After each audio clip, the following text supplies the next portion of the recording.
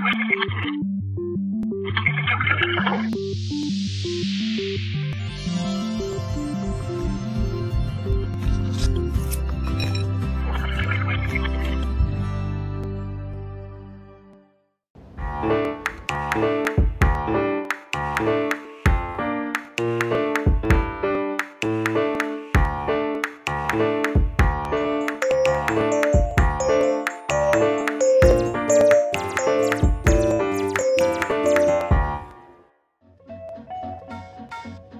name is Sonja Stummerer and I'm a designer and an architect.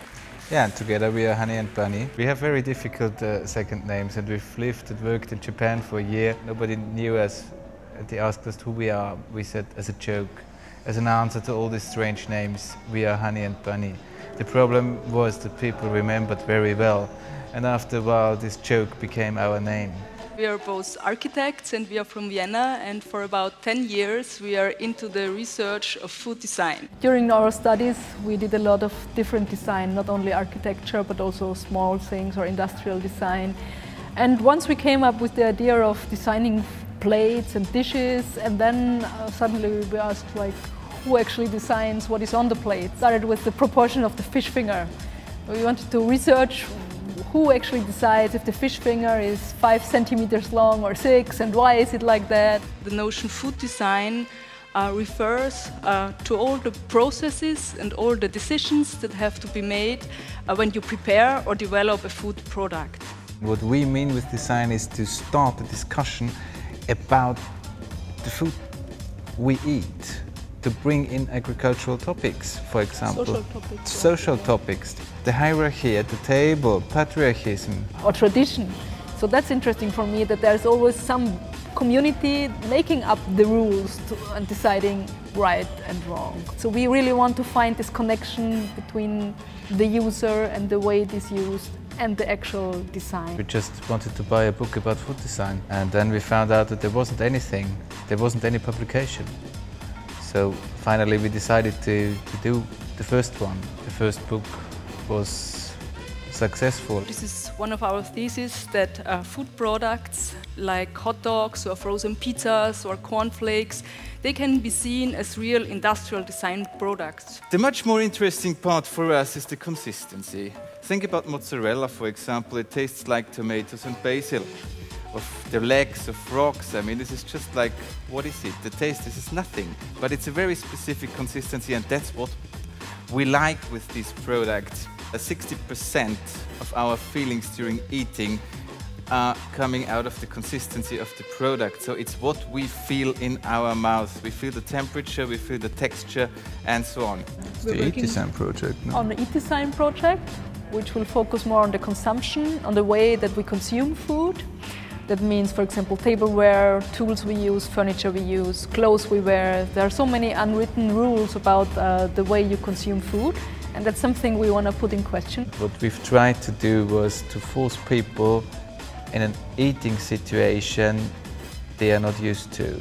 So we've tried to develop a table which is not in that sense a classical table. So we force people standing, sitting on the table, and we've served insects and uh, to, to bring people in a new situation. We are currently starting the eat design book and we do write the script for the eat design film at the moment. Everybody knows it, the Jelly Baby. Uh, the company, the German company Haribo uh, gets emails that the red ones are the best ones. In blind tests, always the white ones win. It's very important to have acoustics within food. So what you hear uh, tells you is the food fresh? Uh, is it full of nutrition? So there are sound technici technicians, sound designers just for food stuff, just for cookies and so on. Okay, just for the explanation of how shapes come up, there are also, of course, some products that appear because there's another product already existing. So the toast, for example, it's much older, it's from the Renaissance. And then in the 50s, they also produced the, the ham and the cheese just to make a kind of uh, system a that Lego. you a kind of Lego system, so you can put it together. The same system you can also have for crackers nowadays. Another cultural part. This is quite important because we have so many uh, food objects which are very much symbolic. So the brezel, for example, I mean, okay, it's a German bread, but what, what is, where's the shape coming from? We didn't pray always like that. Till six, seven hundred after Christ, people prayed like this. And now think about the brezel. It was a praying, a praying bread. And of course, the sharing part is very important. Uh, you would never share a cake like that and a bread like this. It's quite interesting. Why not?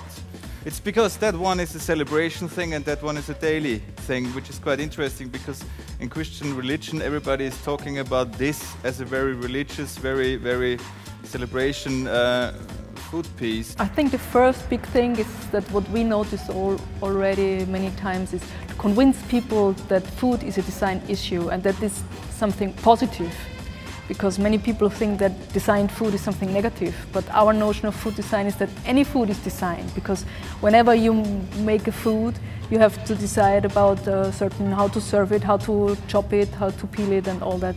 I mean, what designers should do is, on one hand, connect production topics with uh, design topics and at least with eating habits. We can develop a product finally and we can bring processes together.